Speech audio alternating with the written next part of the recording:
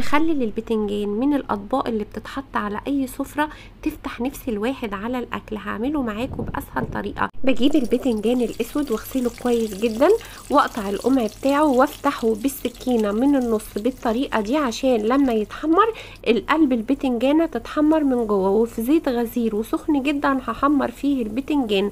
وأحمر كمان الفلفل الرومي. بعمل فيه فتحات بالسكينة الفلفل علشان ما يطرطش وإحنا بنحمره. طلع البتنجان والفلفل في طبق وحضر التتبيلة.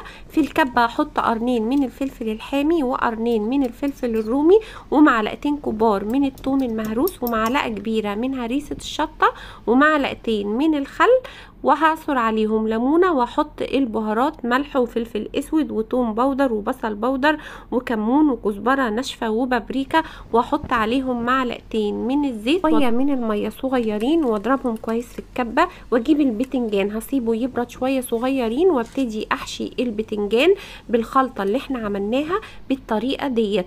وكمان لو عندك طماطم صغننة ممكن تجيبيها وتفتحي فيها فتحات صغيرة وتحشيها كمان بالتتبيلة دي بيكون طعمها جميل جدا ويكون جاهز معاكي أحلى طبق بتنجان مخلل بجد طعمه روعة.